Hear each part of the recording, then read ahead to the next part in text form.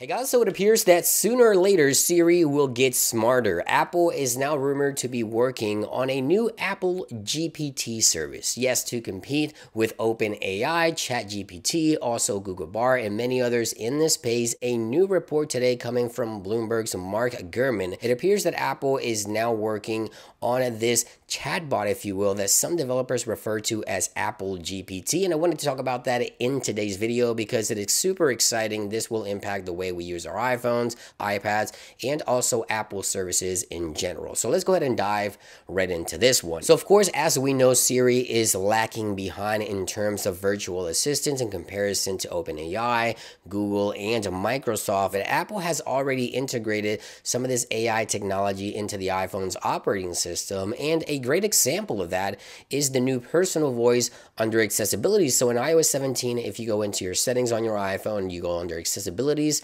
and then you tap right here, personal voice, your iPhone can actually generate a voice that's almost identical to your personal voice so that you can go ahead and use your iPhone to communicate in your voice. This is a clear demonstration and a clear potential of AI integration into iOS software. Now, according to Mark Gurman, Apple has been internally testing this chatbot, which some developers called Apple GPT. The project uses the framework called Ajax and started building this around 2022. We're now hearing about this one, but Apple is planning to integrate this into various services, not only into iOS, but things like Apple Care, things like chat support, iPadOS, iOS, Siri, and maybe many other aspects of Apple's entire ecosystem and services throughout their operating system, which is very exciting as well. It looks like Apple will soon be making an announcement. I say soon because we're less than six months away. According to Mark Gurman, it appears that Apple will be making some type of announcement early 2024 in regards to Apple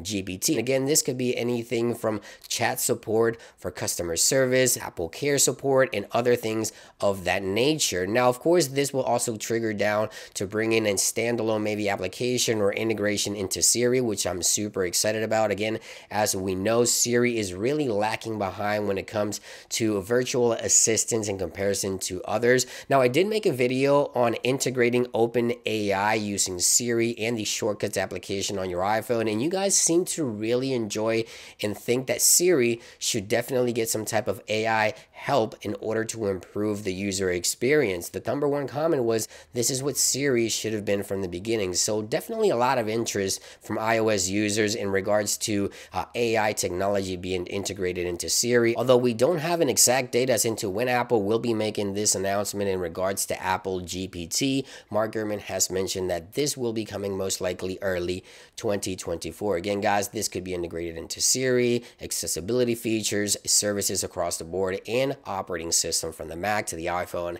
and the iPad. Let me know what you think about this report. Are you excited? Are you looking forward to Siri actually getting smarter? Let me know your thoughts in those comments down below. Thank you for watching, and I'll see you guys on the next one.